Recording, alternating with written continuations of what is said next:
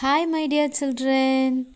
Now we are going to learn about a grammar part preposition. A preposition is a word tell us about a position of an object. Okay?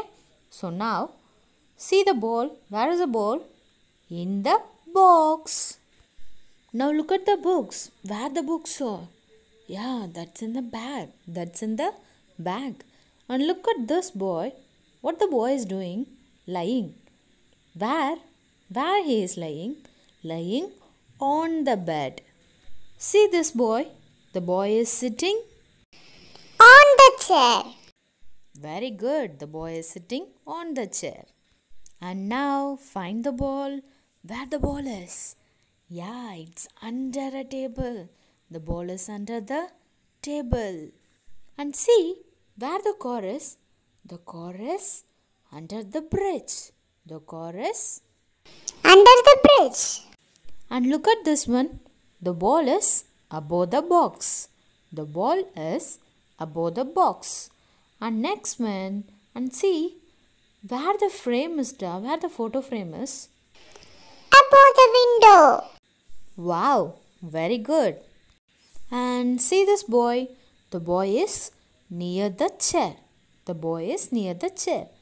And see this one. The house is near the tree. The house is. Near the tree. And now the ball is over the box. And look at this one. The thief jumped over the wall. The thief. Jumped over the wall. Now see the boy and girl. The boy is in front of the curtain and the girl is behind the curtain. And look at this.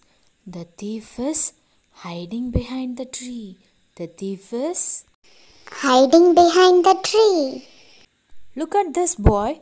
The boy is between the two chairs. The boy is between the two chairs. And see this one. The bat is with the ball. And the boy is writing with the pen. And this one, the cup is with the saucer. Hope you all understand the concept. Thank you, children.